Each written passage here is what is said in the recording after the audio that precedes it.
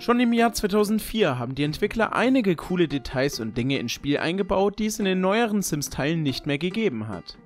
In diesem Video möchte ich auf das 50 besondere Sims 2 Details Video von Only Abi Duang reagieren, welcher zu diesem Thema ein wirklich interessantes Video erstellt hat. Ich habe jetzt schon mal ein bisschen vorgespult und wir sind jetzt schon direkt bei den 50 Dingen, die die Sims 2 besser gemacht hat als die Nachfolgeteile. Und ich würde sagen, wir wechseln auch direkt rüber. Das fand ich auf jeden Fall extrem cool. Die Sims haben immer die ähm, ganzen Kochlöffel und alles, was sie zum Kochen gebraucht haben, aus den Schubladen genommen und nicht wie in Die Sims 4 einfach hergezaubert. Schaut euch das an. Sowas äh, gibt es in Die Sims 4 wirklich gar nicht. Die Sims liegen halt immer nur irgendwie rum. Das habe ich schon auf Twitter gesehen. Das fand ich extrem witzig. In Die Sims 2 konnten ja, die Bildschirme einfach auch von der Wand runterfallen. Ich weiß nicht. Also bisher muss ich sagen, das Video finde ich doch schon mal eine ganz interessante Sache, weil man wirklich so ein bisschen nochmal mehr Einblicke bekommt, wie Die Sims 2 einfach vieles besser gemacht hat als die Nachfolgeteile. Ich meine, natürlich gab es auch in Die Sims 3 und Die Sims 4 äh, Sachen, die dann einfach besser gemacht wurden, wie der Baumodus im, bei Sims 4 zum Beispiel oder auch der Erstelle ein Sim-Modus. Aber wenn man sich das jetzt so anguckt, diese ganzen kleinen Details sind auf jeden Fall in Die Sims 2 wirklich stark. Davon gibt es noch einige, 50 Stück insgesamt. Also die Sachen, die wir jetzt schon hatten, würde ich mir für Sims 4 wirklich wieder wünschen. Okay, ehrlich gesagt wusste ich das auch noch nicht so ganz. Die Kleinkinder am Ausbüchsen. Das hätte ich mir ja für das Elternfreuden-Gameplay-Pack irgendwie gewünscht, aber haben wir dann auch nicht so richtig bekommen. Ja, die Sims haben einfach ähm, die Pizza so mit der Hand genommen und wie man hier jetzt auch sehen kann, ist so runter, runtergelabbert. Und in die Sims 4 ist es ja eigentlich nur auf diesem Teller, was dann eigentlich ein bisschen schade ist, weil so finde ich es auf jeden Fall ganz cool. Ich habe äh, auch gesehen, zum Beispiel haben die Sims auch Nudelboxen und so haben können, die sie dann auch wirklich wie so eine Nudelbox man ja so in der Hand hält. Und äh, solche Details fehlen wirklich. Jetzt mal ernsthaft.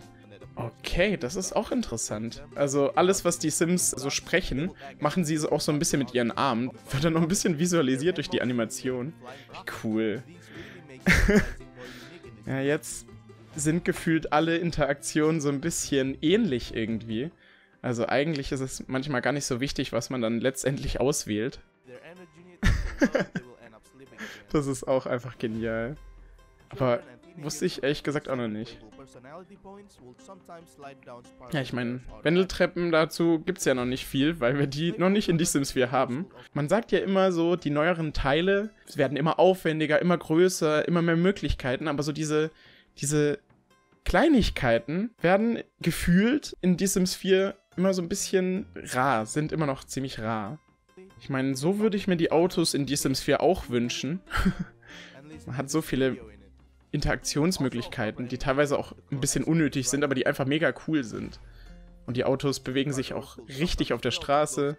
Äh, oh, das wusste ich auch noch nicht, ehrlich gesagt. Okay, über kleine Objekte können die Sims einfach drüber steigen. Ehrlich gesagt macht es ja auch gar keinen Sinn, dass die Sims einfach vor allen Objekten so stehen bleiben, weil warum können sie nicht einfach drüber steigen? Das ist auch irgendwas, was ich eigentlich gar nicht so richtig verstehe, aber ich habe das Gefühl, im, auch im Bett sind bei den Sims ganz viele Interaktionen weggefallen, so dieses Entspannen und was man alles früher hatte, gibt es jetzt eigentlich gar nicht mehr so richtig. Und auch das, was wir gerade gesehen haben, Albträume, haben wir, so viel ich weiß, jetzt auch nicht mehr. Können Kreuzworträtsel und kleine Flugzeuge aus, den, aus der Zeitung basteln. Ja, Zeitung gibt es in diesem Sphere auch nicht mehr. Die Kinder haben dann richtig Angst, wenn sich ihre Eltern streiten. Was für eine coole Interaktion eigentlich. Oh. Ich muss sagen, das mit den Kleinkindern ist jetzt immer so eine Sache, weil ich der Meinung bin, dass wir jetzt im Spiel auch ein paar Interaktionen mit den Kindern haben, wie dieses Rumwirbeln, was wir halt äh, in den früheren Teilen in der Art nicht so hatten. Also die Kleinkinderaktionen sind, äh, Interaktionen sind eigentlich alle ganz süß gemacht. Aber das war schon irgendwie witzig auf jeden Fall.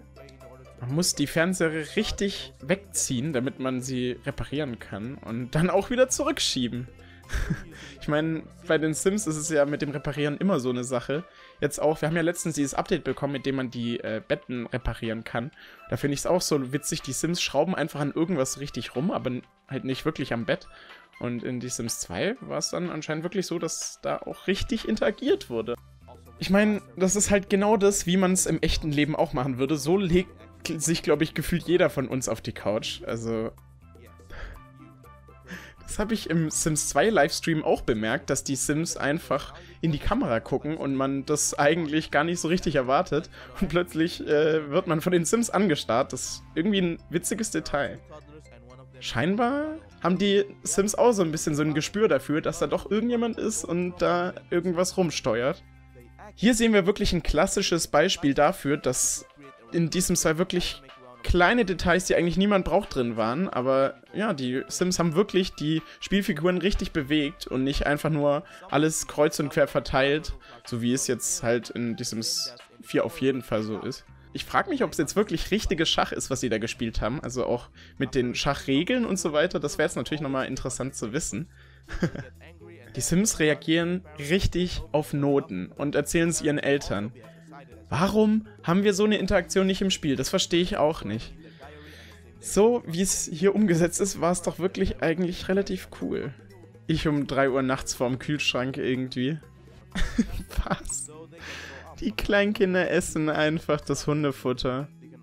Der, der gesunde und leckere Snack für zwischendurch. Okay, das, das ist wirklich cool. Die Kleinkinder können sich ins Hundekörbchen legen. Was ist das für eine man kann einfach Platz sparen, indem man die, die Tiere und die Kleinkinder gleichzeitig äh, irgendwo reinpackt. Wie cool.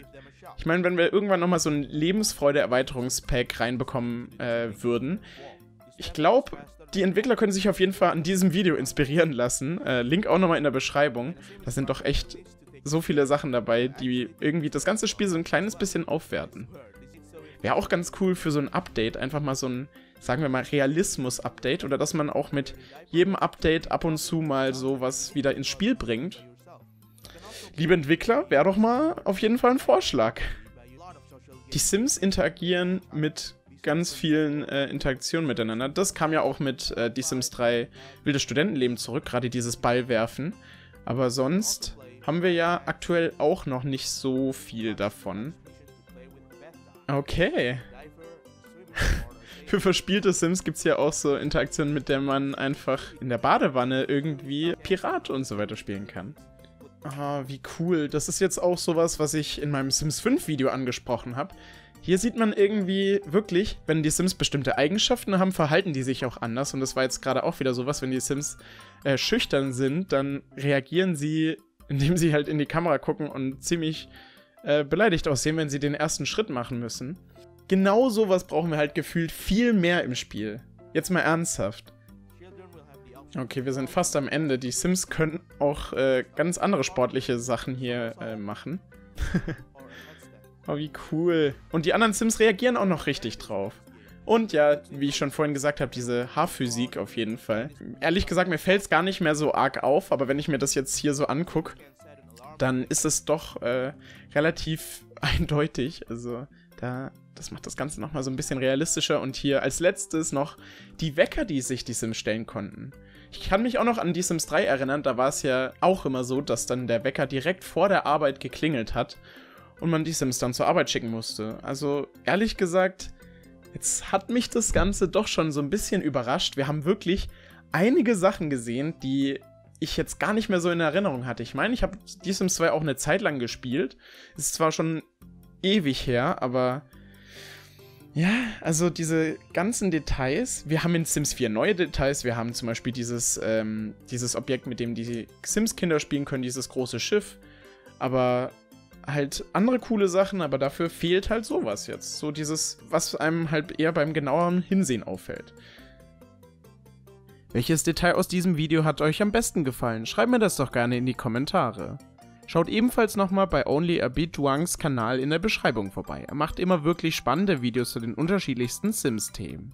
Also dann, bis zum nächsten Video.